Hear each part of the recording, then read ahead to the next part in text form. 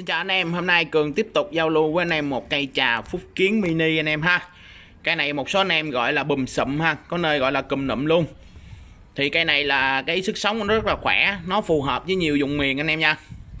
Và chỉ cần anh em đủ nắng ha, đủ nắng và dinh dưỡng anh em bón ờ, đều Là nó sẽ cho cây bông trái quanh năm ha. Đây nó đang có trái có bông luôn nha anh em.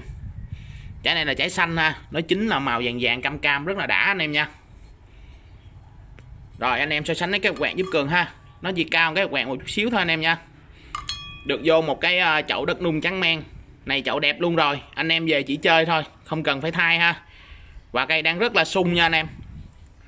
Này là dáng thế mình để ờ, thiên nhiên mình chơi ha. Này anh em về bấm tỉa nó thôi, không cần phải làm gì thêm nha. Rồi, và cây trà phúc kiến mini này, cường sẽ giao lưu với anh em với giá là 550k đã bao gồm phí ship anh em nha.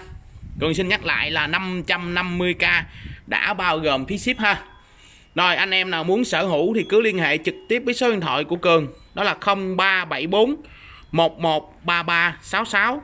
Cường xin nhắc lại số điện thoại là 0374 113366 với giá là 550k đã bao gồm phí ship anh em ha. Cường xin chào và cảm ơn anh em rất nhiều.